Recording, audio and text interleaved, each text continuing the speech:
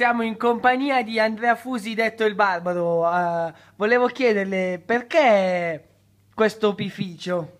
Ma guarda, non è che c'è molto da vedere. Con uno stile di arredamento così, c'è solo uno stile di fisico del genere. Può accompagnare solo.